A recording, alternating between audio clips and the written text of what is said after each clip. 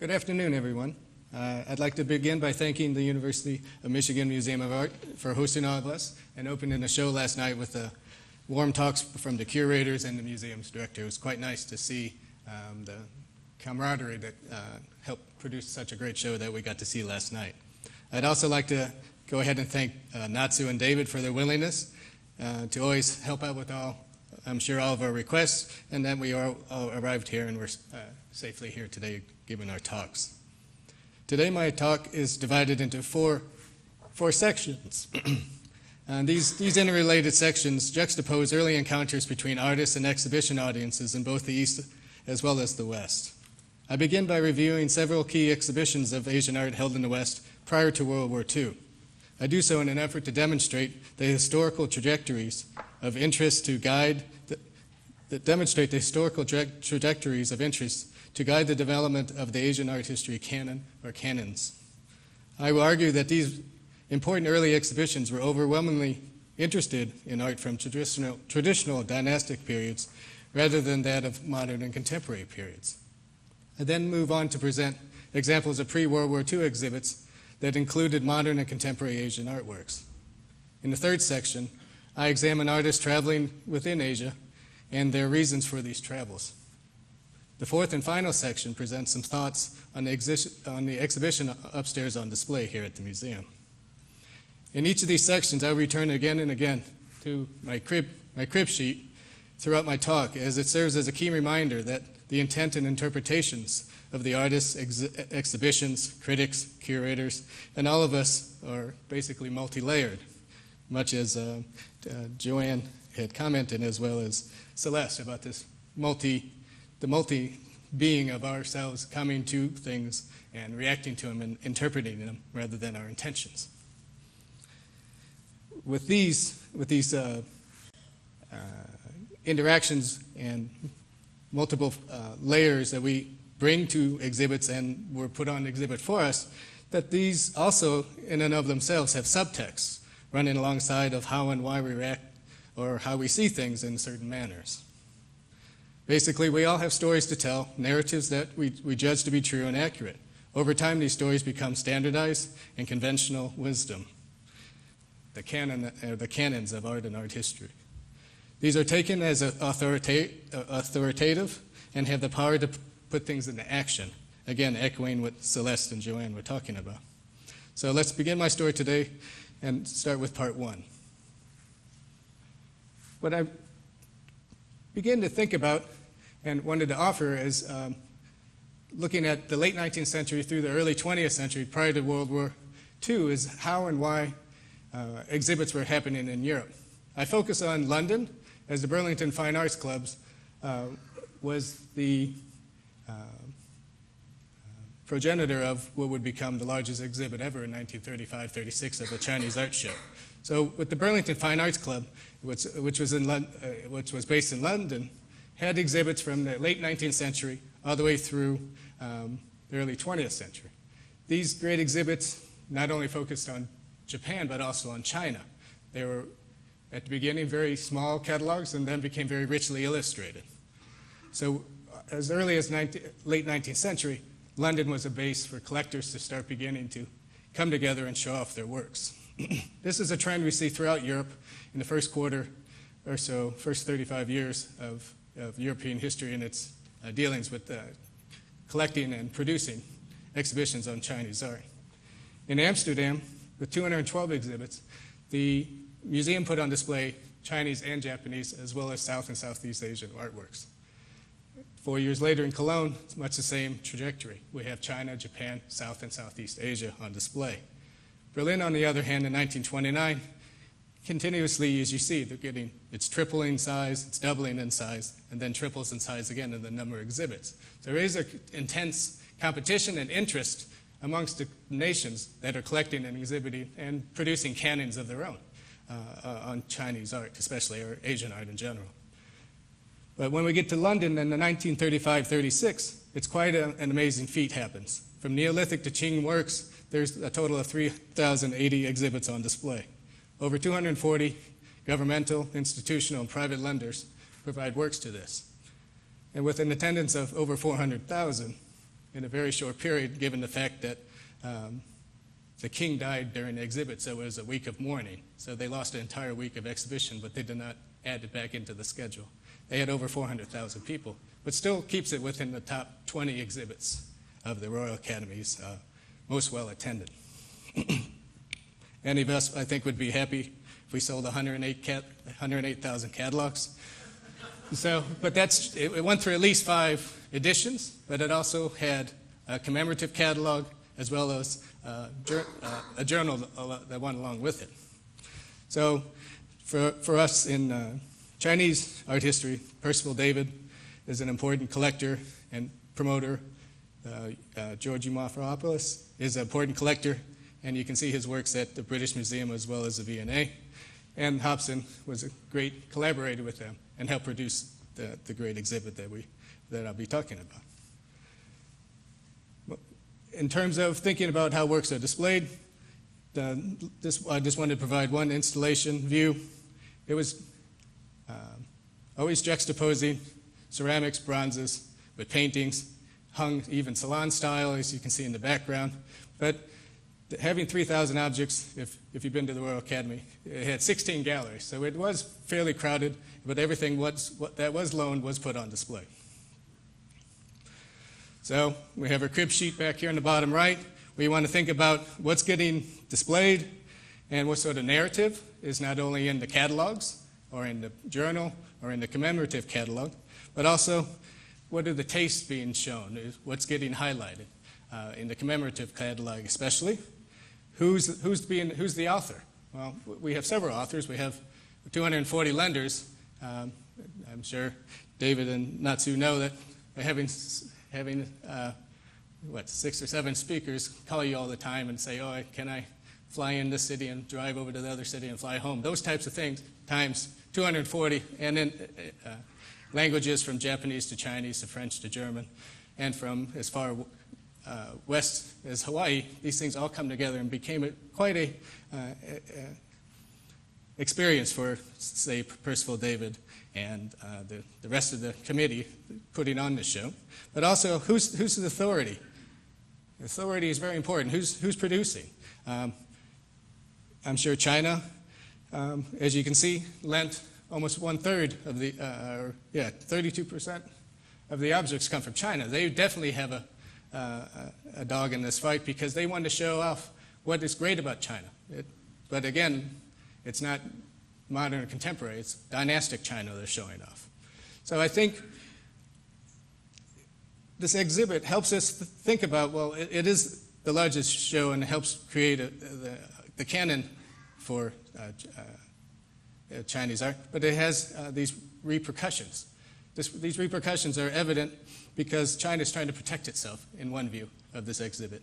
High, it, it, does fight for its um, protection of its uh, ancient objects. As you can see, several laws were passed in the, in the early 30s. And it also is reacting to what's happening from Japan. Japan has already taken over uh, Manchukuo. So there is loans from Japan in this show, which was a very tricky issue to have. But in the end, the, the, the committee was able to convince loans to, from Japan were, were, were the right thing to do, and Japan agreed, and China, again, agreed to do it. But this idea of thinking about the international exhibit of uh, Chinese art, it does give us this power to map and define and to cat- categorize. There, we, each of these lenders wanted to curate a narrative.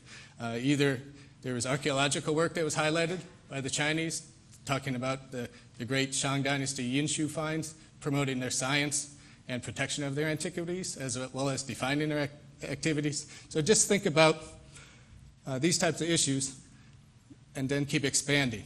So each of the lenders, you had an organizer, you had a collector, you have a dealer, and you have academic organizations and museums, all competing for attention and loaning the greatest objects. Uh, in regional, there is this competition. We see 200 works, and 600, 1,200, 3,000 works on display. There is a competitiveness about an exhibition strategy. And China itself is the largest lender. It is the exhibit about their about Chinese art, and they, they want to make sure they're demarcating not only their culture property, the excavations, but also their, their physical mapping of their, their country. thinking about how and why so much art is on display, um, a lot of, um, the golden age of acquiring uh, Chinese art uh, from collectors such as Freer or Sackler or um, great institutions, institutions like the British Museum, acquiring large amounts of uh, materials from China. It was a golden age once Chinese government, once the dynastic change from uh, the Qing dynasty into the Republic. It was an open field, so to speak, for collectors to go in and take out massive amounts. So the, the, the market was very much flooded. And, it, and, in terms of the region itself, Japanese excavations uh, in northeast China were taking works back to Japan while still mapping and defining what is China. And on the global level, it's still highlighted as the largest, most complex exhibit. To think about, again, a crib sheet, just thinking about other ways to think about our existence as curators or scholars, looking at um, how shows are uh, viewed, looking at comics. Just quickly, on the bottom left, you see uh, art handlers uh, removing objects safely and securely, but still you have a, the European taking territories away from China, a Japanese uh, taking back some, some works, commercial rights, and in the front, monopolies in China. Another way is talking about the smash and grab idea, thinking about post 1911, China is opening up to foreigners more and more and taking objects away. Again, here, there's a China shop and Japanese appropriation. That's Manchukuo. So all these things are happening, and keeping in mind our crib sheet, who's, what taste are we looking at? Who's, who's, who, who's putting what in what narrative? Who's the author of these canons? And thinking about um, what sort of agency and power the loans have, but also how the public sees them and how it boils down to the nuts and bolts of what's really happening at a very simple comic level. And even this one, the final comic I'll show for today, was, is North China. They have Manchuria already, in the Japanese uh, fellow's hands, but China's, North China, you can't touch that. So thinking about trajectories and exhibits, putting London in the middle, who's, ask yourself these questions, but also I wanted to even expand it outside into Persia, into China.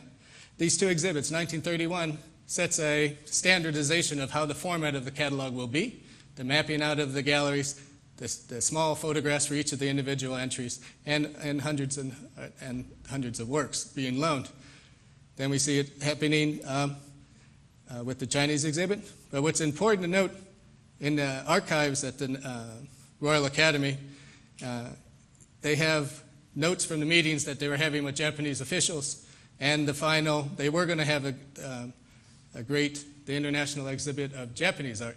But as early as uh, in 36 in the notes from these meetings, you can see what's coming. All, the first to go is the uh, cultural ties to Japan are cut. There will not be this exhibit.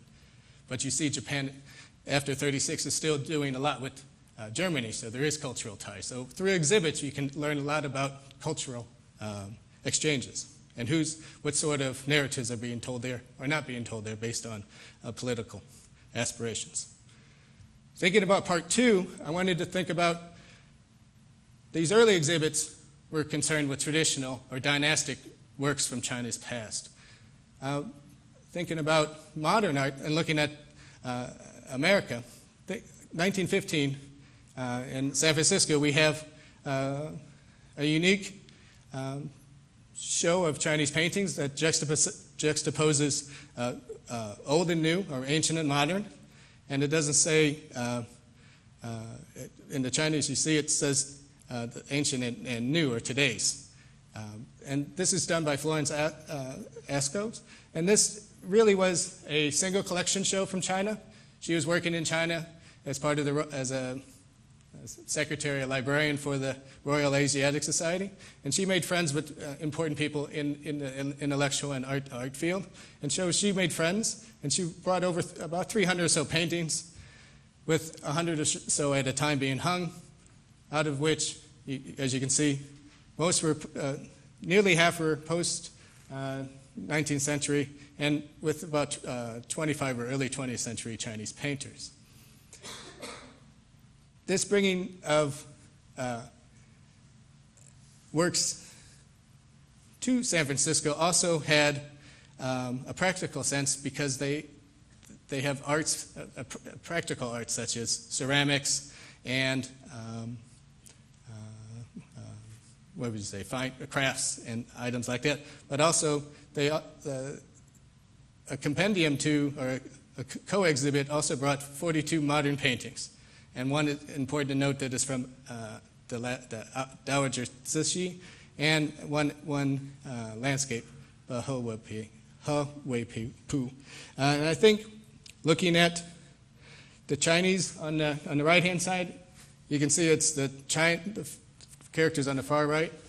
It's China and, and, and the new art, whereas China, ancient and new, rather than just that the, the framing it in Chinese language also comes to its own uh, uh, narrative in the sense of how they're, how they're framing or defining the term modern or today's Chinese art.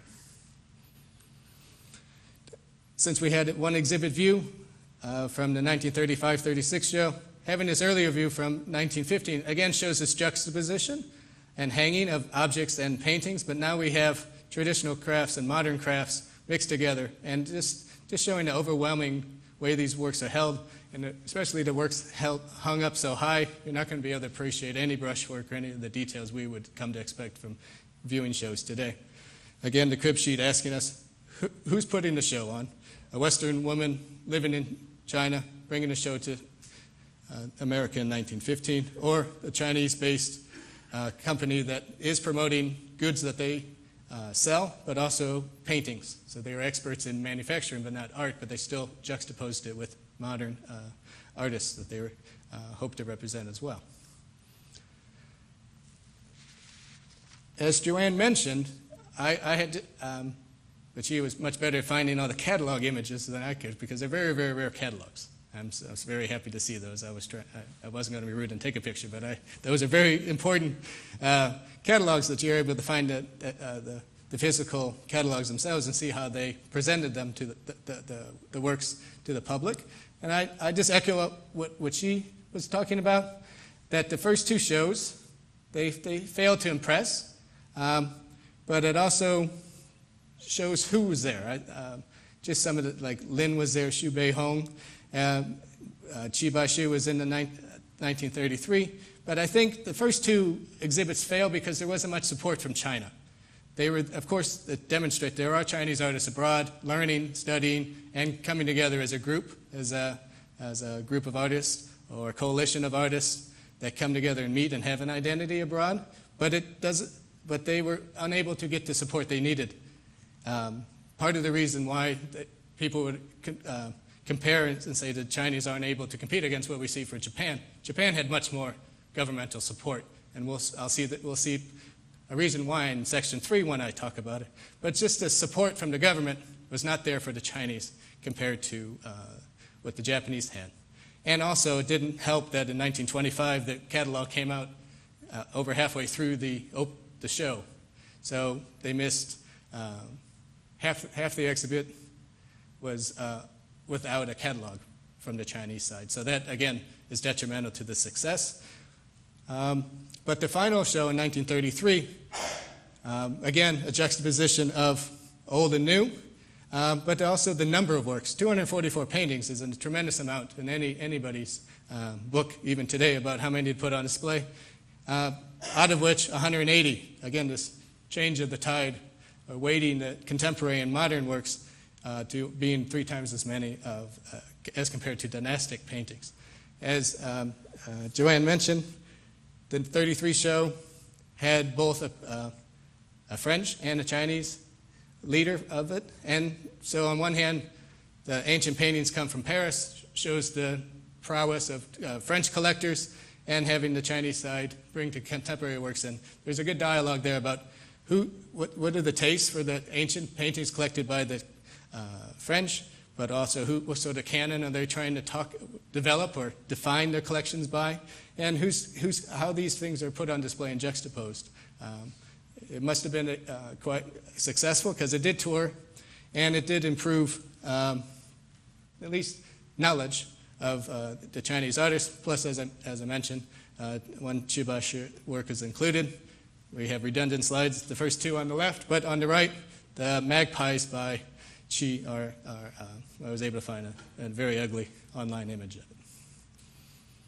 So thinking about part three, following along what I mentioned about the support Japan is having in being successful abroad, uh, I wanted a dialogue to bring in India into this conversation, just because um, there is, within India, you have the Swadeshi movement, which basically means self sufficient, or being self supportive, or buy, buy local, grow local, you know, be local.